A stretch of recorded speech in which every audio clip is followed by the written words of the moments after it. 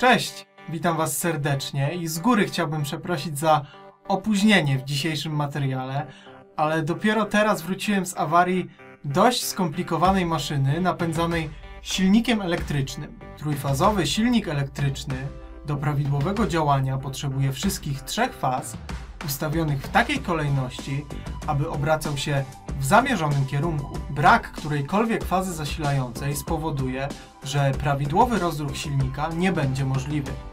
Kiedy spróbujemy włączyć go przy zasilaniu tylko z dwóch faz, zacznie on drżeć, buczeć, a prąd przepływający przez jego uzwojenia spowoduje ich silne nagrzewanie się. Jeśli dodamy do tego brak osoby nadzorującej działanie maszyny oraz źle dobrane zabezpieczenia przeciążeniowe, no to taki silnik czeka niestety pobyt w serwisie. Jak więc ustrzec się przed zanikiem fazy, zmianą kierunku wirowania oraz innymi anomaliami napięciowymi?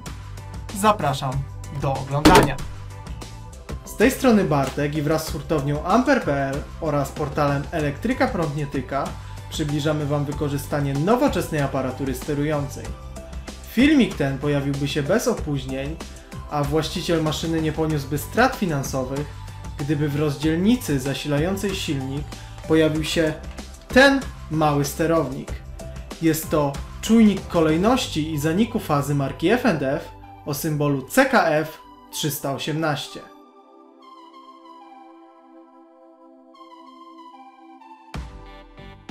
Czujnik ten przeznaczony jest do zabezpieczenia silników elektrycznych zasilanych z sieci trójfazowej o napięciu 400 V.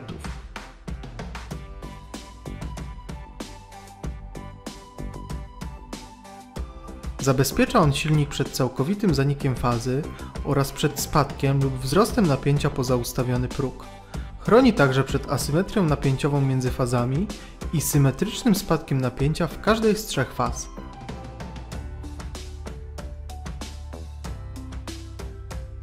Czujnik zamontowany jest w jednomodułowej obudowie i przystosowany jest do montażu na szynie TH35. Posiada on dwie kontrolki sygnalizujące o stanie zasilania. Kiedy zielona kontrolka miga, oznacza to, że sterownik odlicza czas opóźnionego załączenia. Czas ten regulujemy pierwszym potencjometrem. Kiedy zielona kontrolka świeci stale, oznacza to, że parametry sieci są prawidłowe, a przekaźnik załącza się. Kiedy świeci się czerwona kontrolka, oznacza to, że w sieci wystąpiła asymetria napięć lub napięcie spadło poniżej zakresu ustawionego potencjometrem trzecim. Kiedy kontrolka miga jeden raz na sekundę, oznacza to, że kolejność faz jest nieprawidłowa. Natomiast kiedy mruga trzy razy na sekundę, oznacza to, że napięcie w sieci wzrosło powyżej ustawionej wartości. Czujnik monitoruje wartości napięć w każdej z faz i w ten sposób steruje przekaźnikiem. Przekaźnik posiada dwa przełączalne, separowane styki. Na szynie, oprócz czujnika kolejności i zaniku fazy, znajduje się także rozłącznik z bezpiecznikami.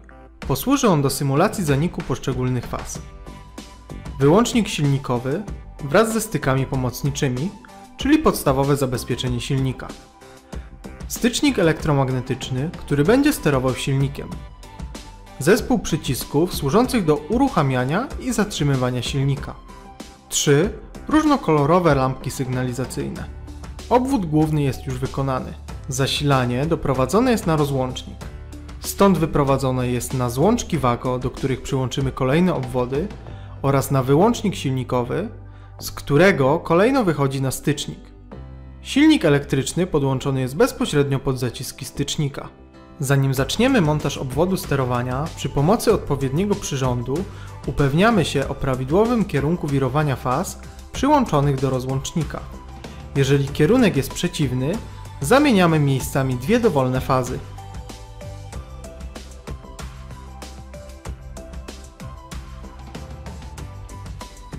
W celu ułatwienia montażu i późniejszych przeróbek układu, obwód sterowania wykonam kolorem brązowym. Pierwszej kolejności doprowadzamy poszczególne fazy do czujnika. Fazę pierwszą przyłączamy do zacisku numer 1, fazę drugą do zacisku numer 3, a fazę trzecią do zacisku 10 lub 12. Czujnik nie wymaga przyłączenia przewodu neutralnego. W Szereg z cewką stycznika włączymy kolejno. Styki pomocnicze wyłącznika silnikowego, czerwony przycisk stop, styki czujnika kolejności i zaniku faz oraz przycisk start. Zasilanie obwodu sterowania wprowadzam na styki pomocnicze wyłącznika silnikowego. Stąd wychodzę na styk przycisku stop.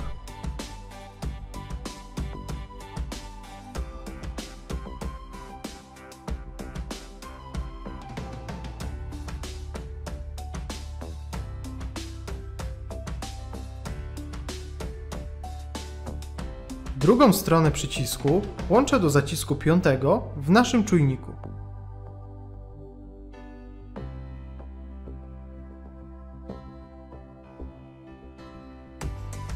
Przycisk Start zasilę ze styku czwartego w czujniku, na którym to pojawi się napięcie w chwili załączenia przekaźnika.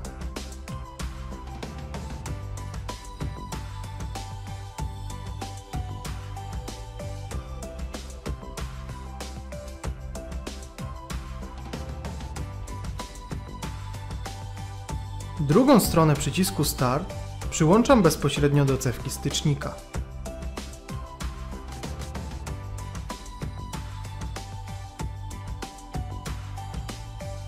Drugi zacisk cewki stycznika przyłączam do przewodu neutralnego.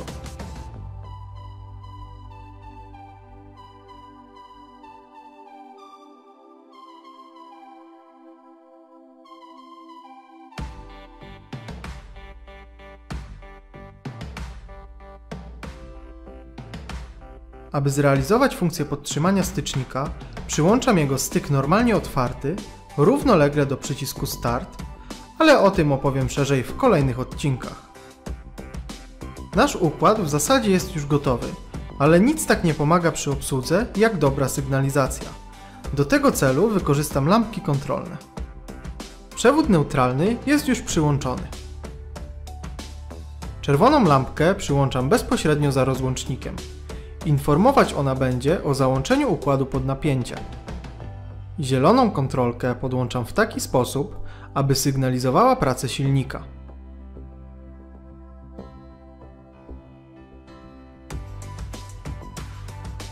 Pomarańczową natomiast przyłączam do zacisku numer 6 w czujniku. Możemy pod ten zacisk przyłączyć także sygnalizację dźwiękową, która będzie informować nas o tym, że sterownik wykrył anomalie napięciowe.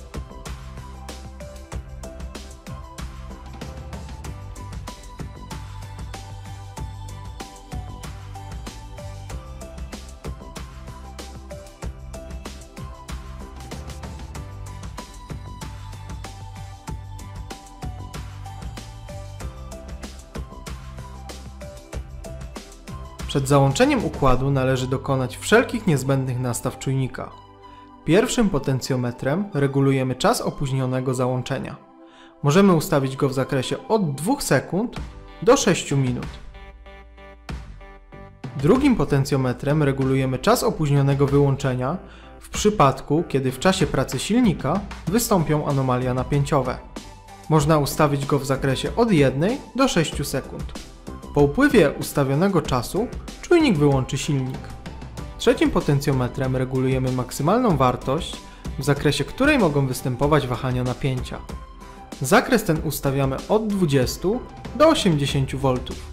Po przekroczeniu tego zakresu i odliczeniu czasu wyłączenia, silnik zostanie odłączony. Po włączeniu układu zapala się czerwona kontrolka, a czujnik opóźnia włączenie i sprawdza stan sieci. Na czujniku mruga zielona kontrolka. Uruchomienie silnika nie jest możliwe. Podkreśla to także świecenie kontrolki pomarańczowej. Po upływie tego czasu zielona kontrolka przestaje migać i zaczyna stale świecić, co oznacza, że parametry sieci są prawidłowe, a silnik można uruchomić. Zasymulujmy teraz awarię układu. Zrobimy to w sposób nagły i nieprzewidywalny, czyli w taki sposób, w jaki występują prawdziwe awarie. W czasie pracy silnika nastąpiło poluzowanie zacisków rozdzielnicy i zanik fazy. Silnik zaczął pracować niestabilnie. Czujnik jednak wykrył anomalię, co sygnalizuje świecenie czerwonej kontrolki na jego panelu i po zadanym czasie czujnik wyłączył silnik. Drugą sytuacją jest brak fazy przy uruchamianiu silnika. Zasymulujemy to wyciągając jeden z bezpieczników topikowych z rozłącznika. Sterownik od razu zauważył brak jednej z faz, sygnalizując to świeceniem czerwonej kontrolki i nie pozwolił na włączenie silnika. Kolejna sytuacja może mieć miejsce w czasie prac modernizacyjnych, kiedy przewody zostaną zamienione i kierunek wirowania silnika będzie odwrotny. Po włączeniu układu przekaźnik wykrywa błąd, sygnalizując to powolnym mruganiem czerwonej kontrolki. Szybkie mruganie tej kontrolki świadczyłoby o przekroczeniu ustawionego progu napięciowego. Także w tych przypadkach czujnik blokuje uruchomienie silnika.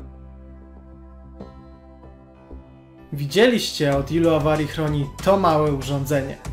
Spadki lub wzrosty napięć, asymetrię zasilania, zanik fazy lub zmiana kierunku wirowania. Mam dla Was zagadkę. Podajcie w komentarzach przykłady maszyn, dla których zmiana kierunku wirowania zaburzyłaby ich pracę lub ich użytkowanie stałoby się niebezpieczne. Wpadajcie na stronę naszej hurtowni, gdzie możecie nabyć to urządzenie.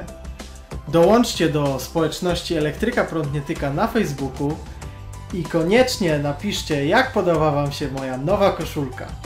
Do zobaczenia!